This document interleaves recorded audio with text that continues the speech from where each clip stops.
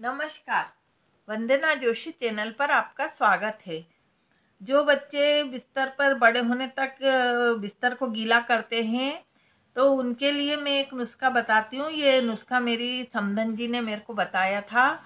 उनके पास कोई बच्चा की माँ आई थी तो उन्होंने फिर ये बताया था, तब मैं वहीं बैठी सुन रही थी।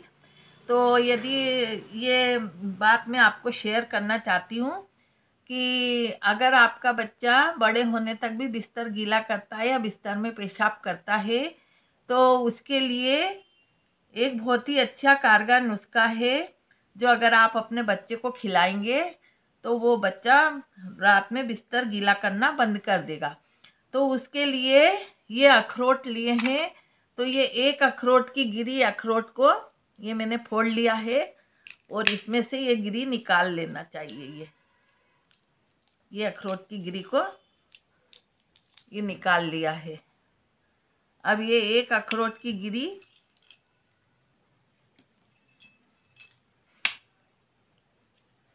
ये एक अखरोट की गिरी लेके और ये जो किशमिश के दाने हैं, पा, दस पंद्रह किशमिश के दाने हैं तो इनको मिलाकर और बच्चे को सुबह सुबह बिना कुछ खिलाए पिलाए मतलब खाली पेट देना है, बच्चे को खिला देना है और फिर इसके आधे घंटे तक कुछ भी खाना पीना नहीं है।